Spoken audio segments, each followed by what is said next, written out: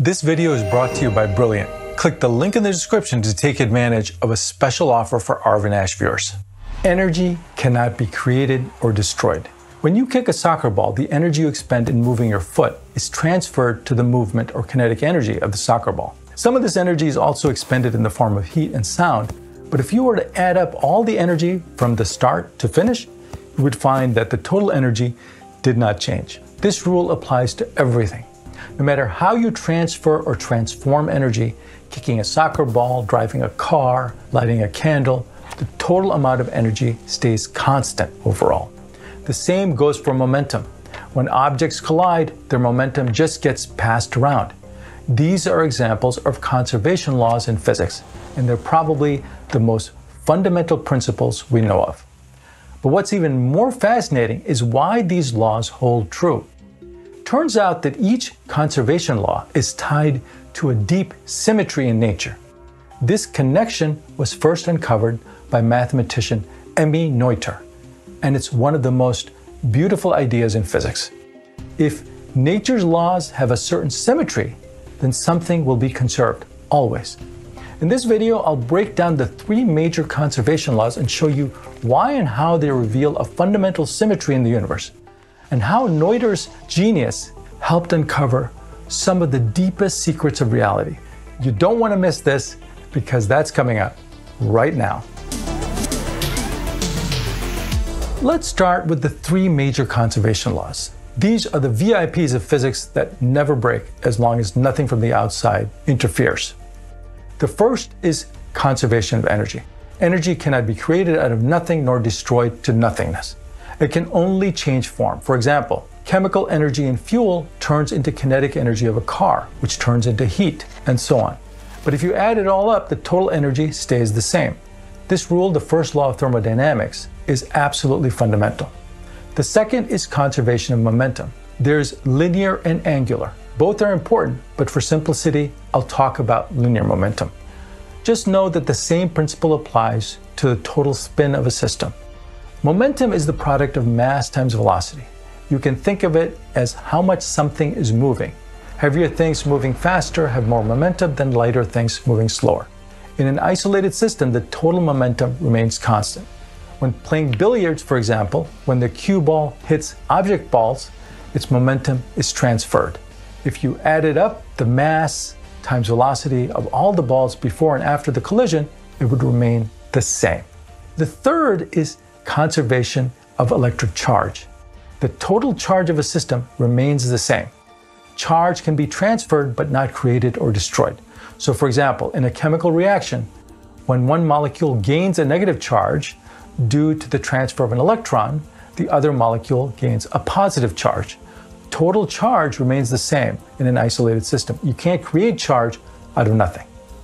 These are the big ones energy, momentum, and charge. There are other conservation laws like conservation of lepton number or baryon number in particle physics, or the combined conservation of mass energy, which merges mass and energy together. But the three above are considered the bedrock conservation laws that apply across a huge range of physical phenomena.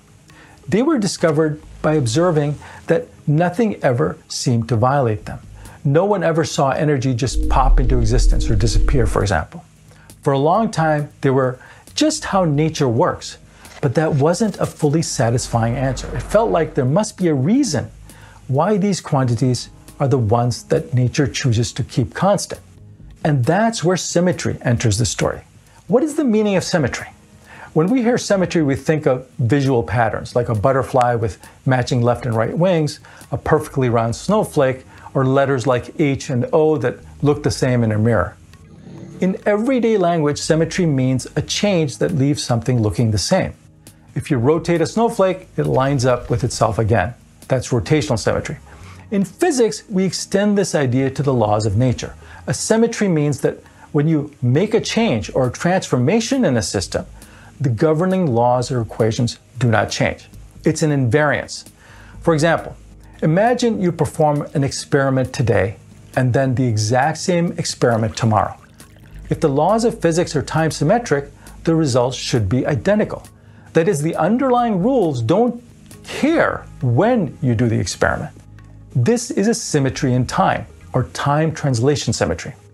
Likewise, if you do an experiment in New York City and then do the same thing in Beijing, you will get the same outcome if conditions are the same. This tells us that the laws of physics are symmetric in space. They don't care where you are. No particular location in the universe has special physics. That's spatial or space translation symmetry. Just like a mirror image or a rotated shape can be invariant in appearance, a physical process can be invariant in its outcomes under a shift in time or space. Physicists and mathematicians say the system is invariant under that transformation. But here's the key insight that was proven by Emmy Noether around 1918. Whenever you have such a symmetry, something must be conserved. It's now called Noether's theorem. Stated informally, the theorem says for every continuous symmetry of a physical system, there's a corresponding conserved quantity. So, what properties are conserved with time and space translation symmetry? Time translation symmetry leads to conservation of energy, and space translation symmetry leads to conservation of momentum.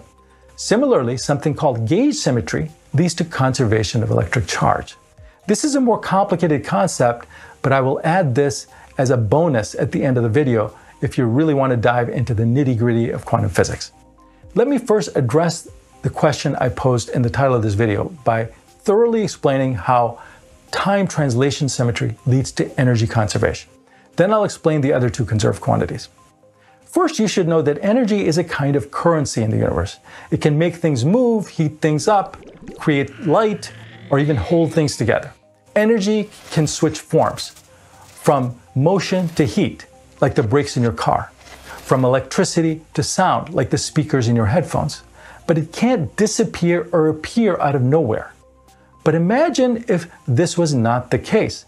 Imagine what it would mean if energy was not conserved, if energy suddenly appeared out of nowhere. It would mean there was a special moment in time when extra energy was created, breaking the idea that the rules of the universe are constant over time. If energy suddenly disappeared, again, there would be a special moment in time where the rules changed. In other words, changing energy would mean the universe has special moments where the rules shift, making things different today than yesterday. But since we see that the universe's rules don't change from moment to moment, that is, we have time symmetry, the universe can't have these special moments when energy suddenly appears or disappears. In other words, if the rules stay the same, the universe has no way to choose or suddenly find a special moment in time to add or remove energy. If energy appeared or disappeared, that would mean the universe was different at one moment compared to another. But because the universe is symmetrical in time, energy must remain constant to keep the symmetry true. Emmy Noether proved this mathematically, that time symmetry leads directly to the universe conserving energy. Now I'm going to address the other two conserved quantities and how they lead to conservation of momentum and electric charge. As I said earlier, space translation symmetry means that the laws of physics are the same in New York as they are in Beijing, as they are in your house. They're the same in the Milky Way galaxy as they are in the Andromeda galaxy. For illustration, let's use an example of two people in a boat on still waters. If one throws a basketball to the other, what happens? The momentum of the basketball is transferred to the movement of the two boats. They both move away from each other. If we did calculations, we would find that the total momentum of the basketball was transferred to the boats. There is some friction of the water in the real world, which we're going to ignore for simplicity. But imagine if this were not the case. What if momentum was not conserved? What if suddenly the momentum changed for no reason? Like one of the boats started moving with no push of any kind. This would mean that something changed in the laws of the universe depending on where the boats are located in the water.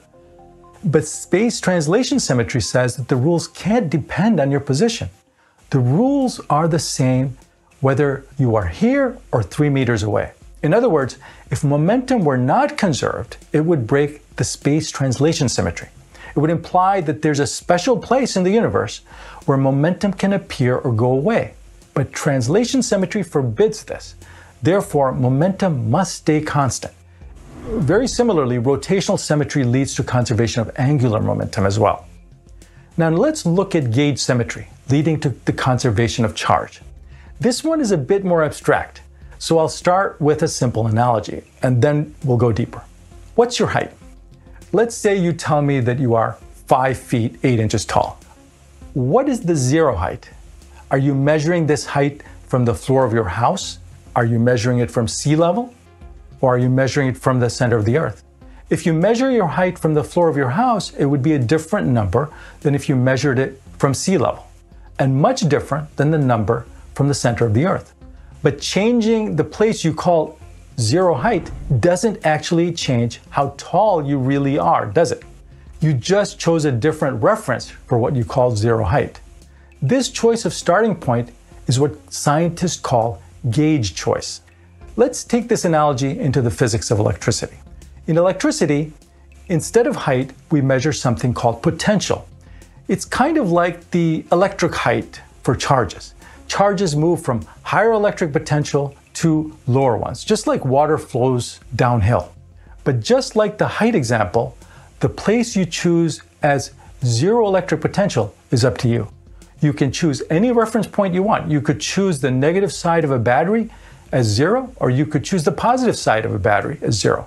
When you change the zero point, the number for potential will be shifted everywhere in the universe. But even though the numbers have changed, the behavior of charges and electricity will remain exactly the same. This flexibility to choose the zero point for electric potential without affecting real physics is what we call gauge symmetry. Now, how does this freedom to choose your reference, the gauge symmetry, lead to electric charge conservation? Here's how. Gauge symmetry says you can shift your potential, your zero point, however you want, and nothing physically real changes. If this were not the case, it would mean that electric charge could just appear or vanish randomly and the electric field patterns would change unpredictably.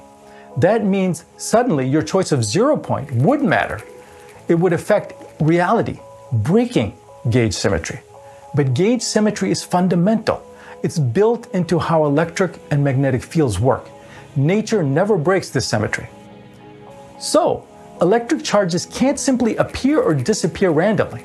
The total amount must always remain constant. And this is called conservation of charge.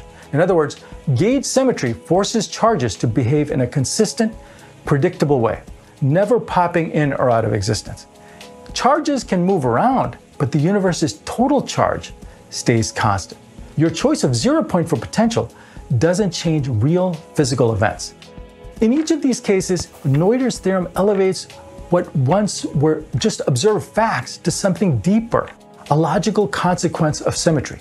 Before Noether, conservation laws were kind of mysterious, random principles confirmed by experiments but never explained.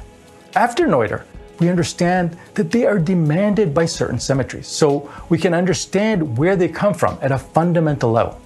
No wonder Einstein praised her as the most significant creative mathematical genius. And if you want to be a mathematical genius too, a great start to your journey would be at Brilliant.org, our sponsor today, where they have a wonderful learning path called Foundational Math. I love the Brilliant app because it builds the foundation in math and science through hands on problem solving, then guides learners through increasingly challenging in depth problems to reach real learning goals. This method works best for me, but it's also proven to be six times more effective than watching lectures you'll develop an intuition for math through visual, interactive, hands on problem solving. You'll learn to think like a mathematician, or maybe even an engineer like me. But Brilliant will also help you become a better thinker and problem solver with thousands of visual, interactive lessons in not only math, but also science, programming, data analysis, and AI. Goal oriented learning will be right at your fingertips, whether at home or on the go. To learn for free on Brilliant, go to brilliant.org slash arvinash, scan the QR code on screen, or click the link in the description. Brilliant also has given our viewers 20% off an annual premium subscription, which gives you unlimited daily access to everything on Brilliant. I encourage you to give it a try. And if you love the subject of quantum fields, here is one of our most popular videos that explains it in simple terms. I'll see you in the next video, my friend.